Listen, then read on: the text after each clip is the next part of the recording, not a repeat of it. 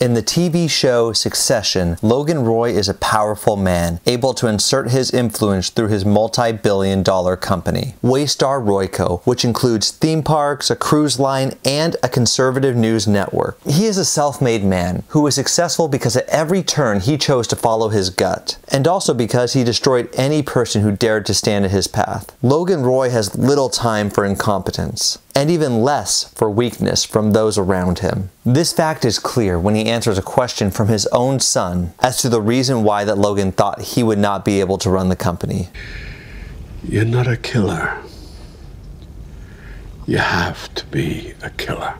In his world, Logan Roy is a leader who reigns with an iron fist. That's what makes the premise of the show Succession so interesting, much like passing down the birthright to the throne in medieval times. How does that transition of power happen, especially when the current king, despite aging, shows no signs of giving up his authority? The series shows this conflict as Logan Roy wards off efforts by his competitors, the government, and even his own children to remove him from his throne, striking at any moment that he shows signs of weakness. The premise of the series also reveals the underlying issue with Logan Roy's leadership. Logan Roy relies on transactional relationships with all of those he surrounds himself with. This includes employees, advisors, and even family. All of these people know that their relationship with Logan Roy goes only as far as they can provide value for him in one form or another. Unfortunately for him, the environment goes both ways, which is why the moment that Logan Roy shows any weakness, people see it as an opportunity to knock him from his pedestal. It is fine for leaders to have high expectations of the people in their organizations, but the most successful leaders form bonds with their people that go beyond the results that they can provide. Those leaders that build deeper connections create organizations where people feel safe enough to have new ideas and be inspired, as opposed to those who work at Waystar Royco, who have to constantly look over their shoulders. In fact, in the pilot episode, we see Logan Roy abruptly fire his COO of over 30 years by informing him right before they were preparing to get on a helicopter that a press release was coming out naming his replacement. Later in the series, we see Waystar Royco under investigation by the federal government due to allegations of covering up misconduct by employees, including sexual assault. Logan Roy felt the walls closing in on him, but he still found a path to escape the blame for these scandals. He convinced his oldest son Kendall that he would have to take the blame and tell the authorities that Logan had no knowledge of any of the misconduct. He framed this to Kendall as the only way the company could be saved and likened it to the Incas sacrificing their children to the sun god for the good of the people so the sun could rise again. Unfortunately for Logan, his son realized the transactional nature of his relationship with his father and decided to turn turn Logan in instead of falling on the sword as instructed. This is the day his reign ends.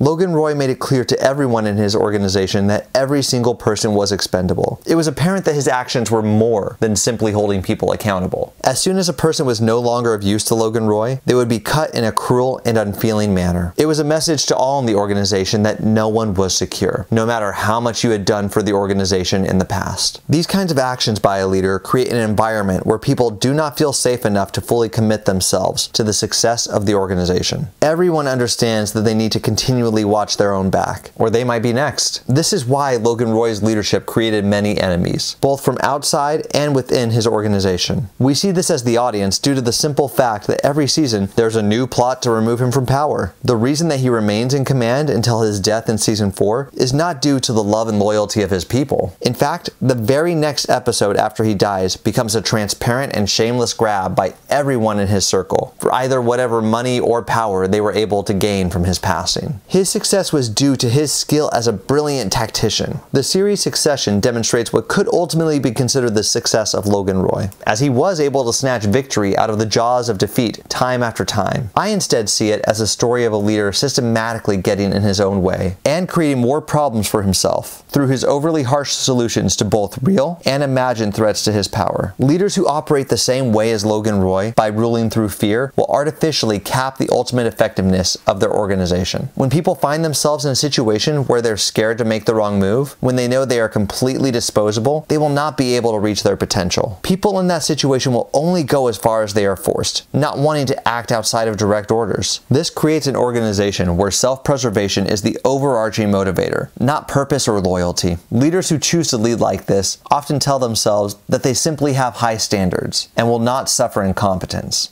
I'm here to tell you that there's a better path for leaders to achieve organizational excellence. Leaders who take the time and the effort to form real relationships with their people, relationships where they're seen as more than just disposable tools, will be able to connect to them on a deeper level. I promise that as a leader, if you develop relationships with your people beyond that of a transactional nature, if you value them, you will have more than authority. You will have loyalty, something that Logan Roy was never able to acquire. All right, I have a challenge for you from today's lesson. I want each of you to answer the question what is something that you deliberately do to develop real relationships with your people? Make sure to put your answer in the comments so that we can all learn from each other. Till next time, keep on learning. Thank you for watching. Much of what I go over my lessons can be found in my book, Mission First, People Always, which is available for purchase through the link in the description of the video. If you enjoyed today's video and want to watch more leadership lessons, then be sure to like the video and subscribe to the channel.